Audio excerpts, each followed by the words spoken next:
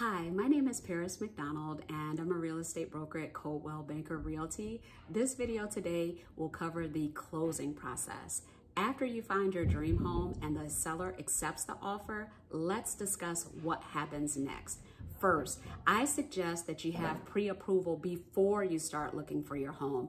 I also suggest having an attorney in the beginning, before you find your home and before the offer is made. This way, the attorney is not coming in in the middle or the tail end of the process.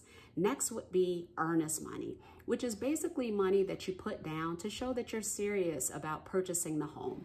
This is usually about 1 to 5% of the purchase price.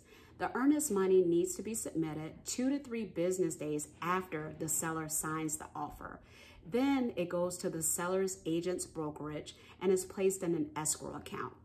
Next would be the home inspection, which needs to be completed in five business days. There is also an additional five business days to negotiate credits and repairs. Remember, offers are contingent on the home inspection. So if you feel like there are too many repair issues, you can always cancel the offer and get your earnest money back. Next, you would follow up with your lender after the offer is signed by the seller and submit all paperwork needed to the lender in a timely fashion. Usually about one to two weeks after the inspection, the lender will send out an appraiser to assess the market value of the home. Once you get the loan approval to close, we'll do a final walkthrough about one to two business days before closing. This is basically just to make sure that the repairs are done and the property is good to go.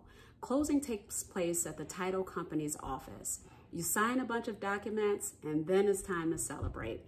If you need recommendations for a lender, an attorney, or a home appraiser, please let me know and I'll be more than happy to help. Again, I am here to guide you through the process. So if you have any questions or need my help with anything, please reach out and I'll be more than happy to assist. Thank you so much for watching.